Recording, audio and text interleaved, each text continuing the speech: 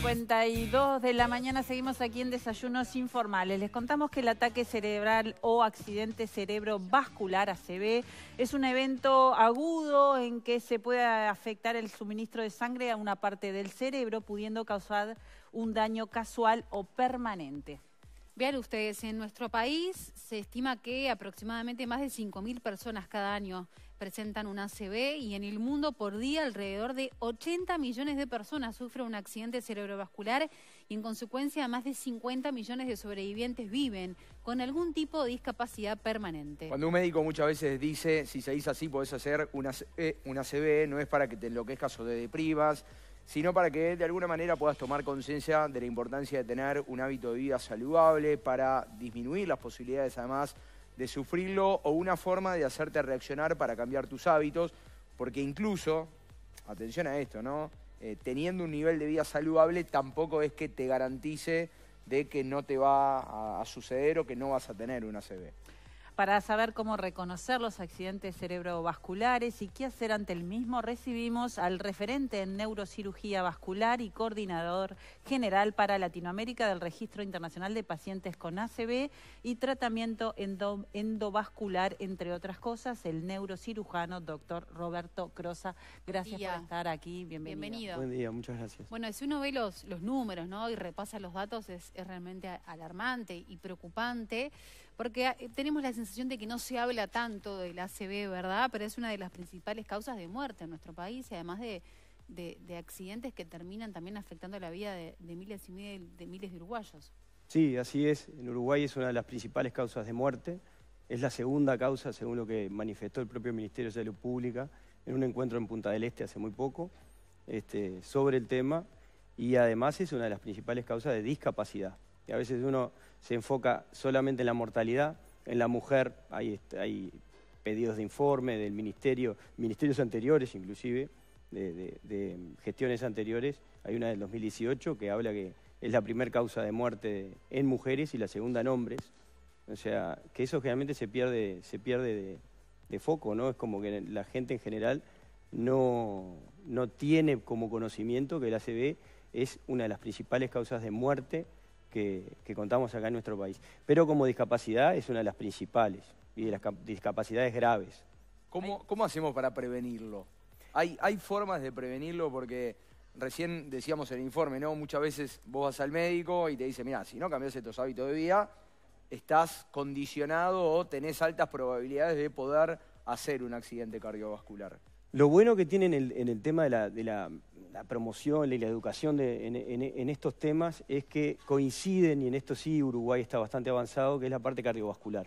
Coinciden mucho los factores de riesgo para la, salud cardiovascular, son muy similares a, los que hay que prevenir, en definitiva, para tener una buena salud cerebrovascular, porque son patologías que son del sistema vascular y se, y se generan más o menos en forma similar. Lo que uno puede, puede prevenir son los factores de riesgo modificables, o sea, la hipertensión, o sea, el, tabaquismo, el sedentarismo, la obesidad, todo lo que estamos ya habituados a, Alimentación y ejercicio. Por supuesto, todo lo que... ¿Y hay algún factor genético?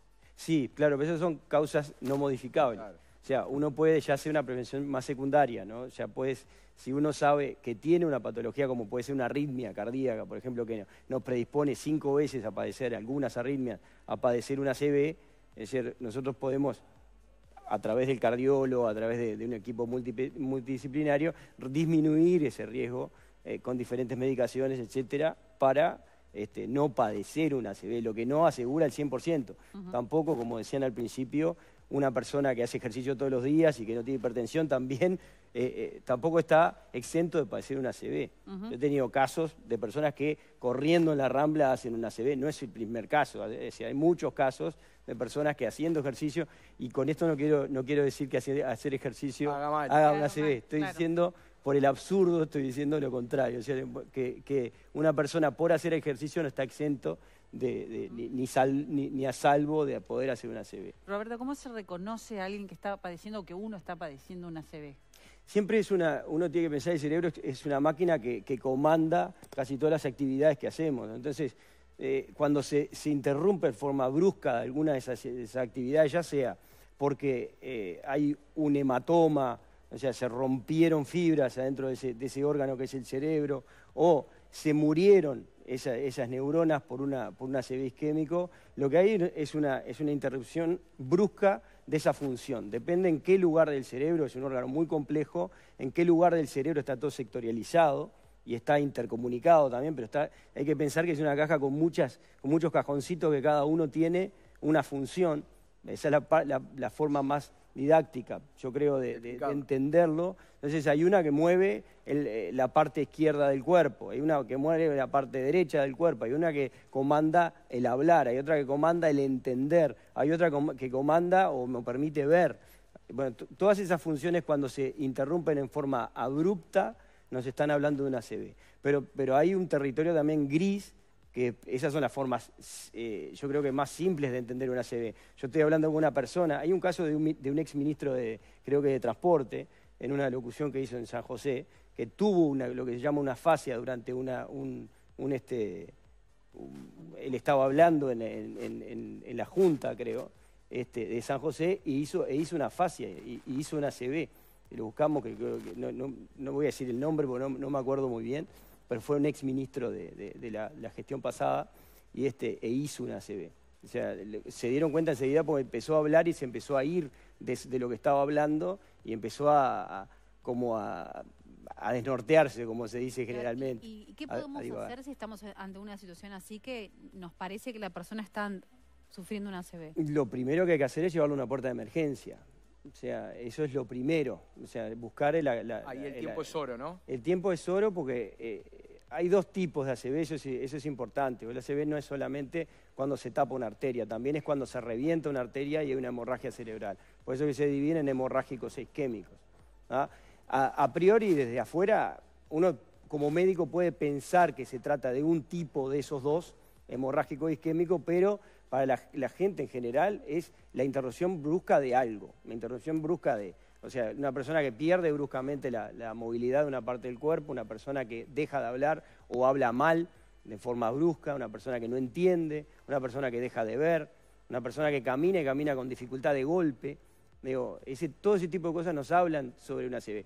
Yo siempre digo, cuando, cuando más allá de, que, de cumplir con estas reglas estrictas, el cerebro es algo bastante complejo y tiene muchas funciones. Entonces, esto con tres o cuatro cosas que están bastante estandarizadas no alcanza.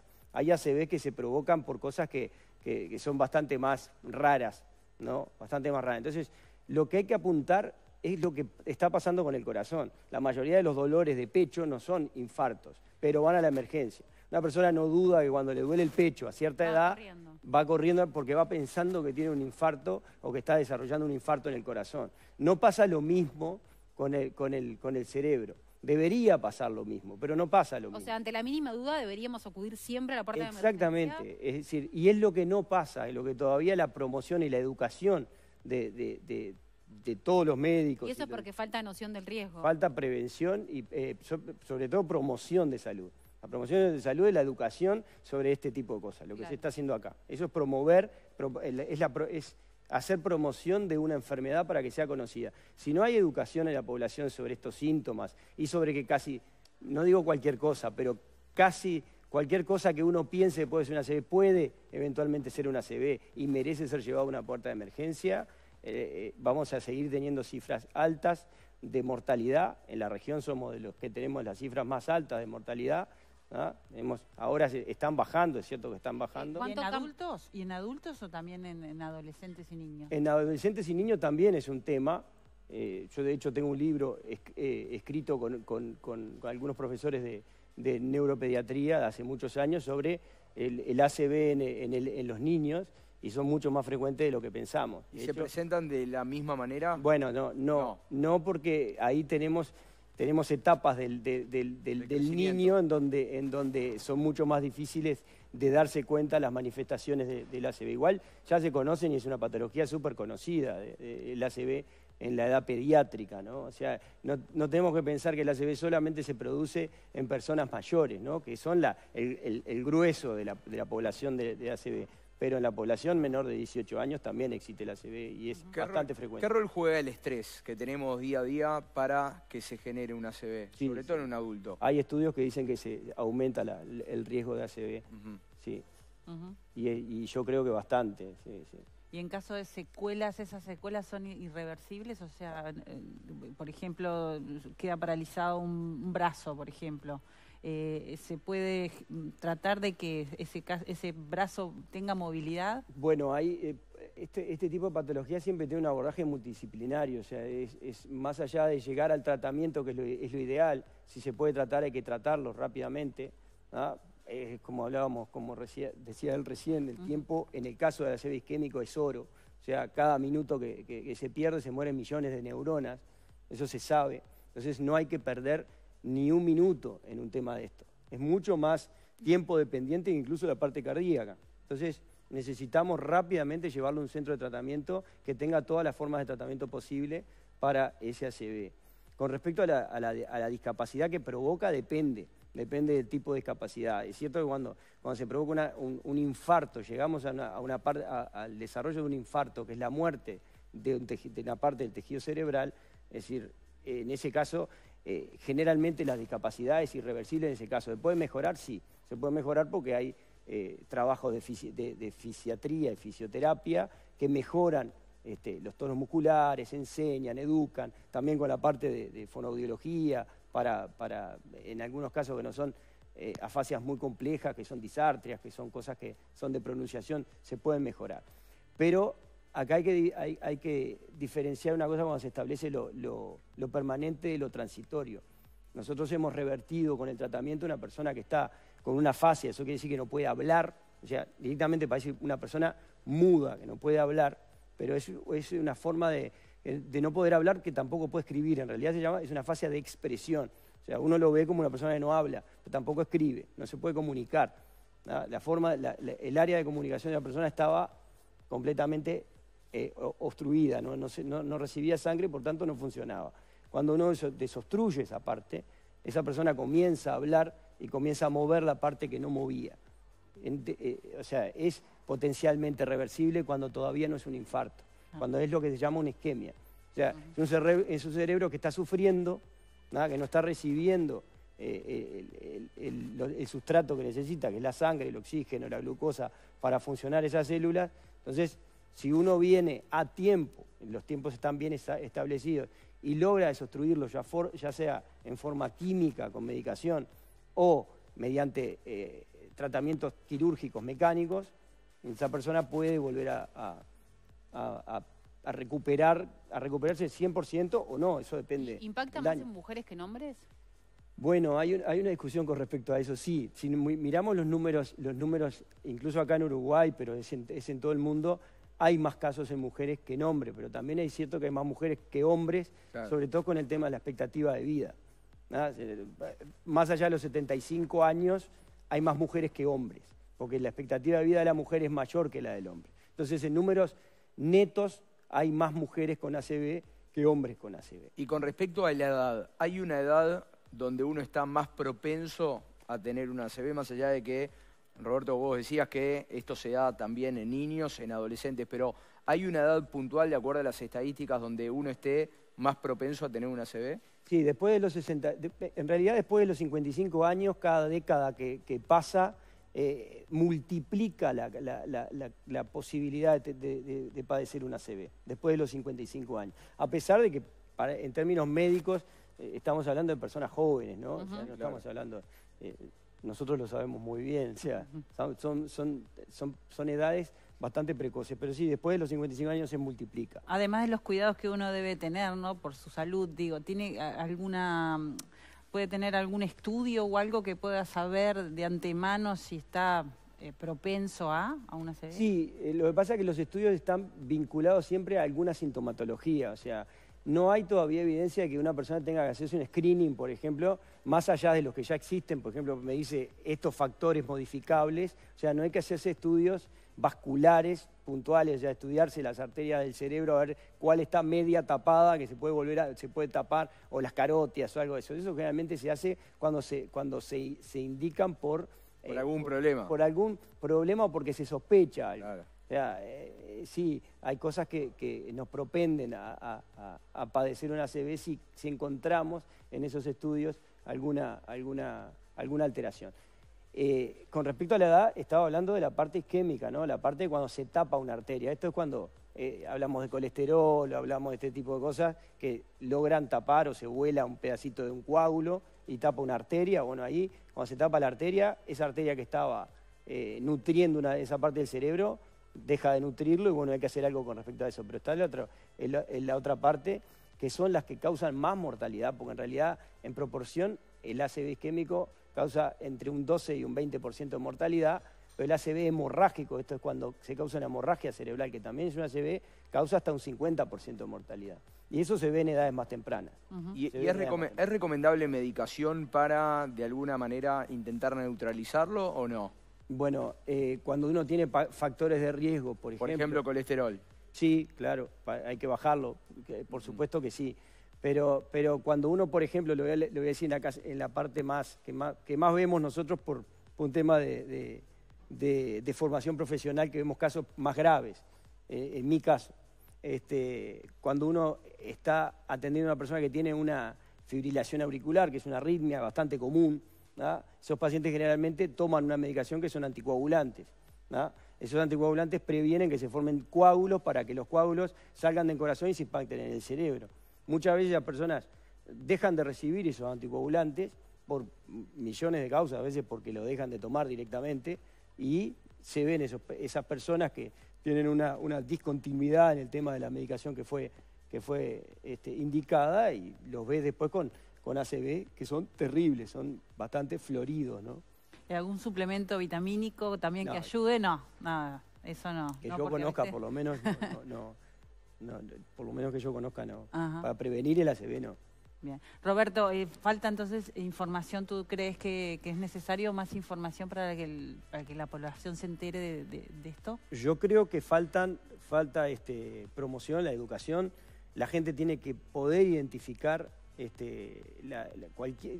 Tiene que primero eh, aumentar el umbral de, sospecha. eso mm. siempre, siempre, cuando una persona... Ponerlo en el radar. Claro, Pues, o sea, sí, sí yo tengo un, caso de, desde hace muchísimos años, pero siempre viene bien contarlo, de, una persona que estaba pintando en, Colonia, eh, fue hace muchos años, estaba pintando, le dio una CB a, este muchacho, un muchacho joven, este, dejó de, o sea, le vino una CB y del lado que estaba pintando, que era el lado derecho, se le cayó el pincel, y siguió pintando con el lado izquierdo.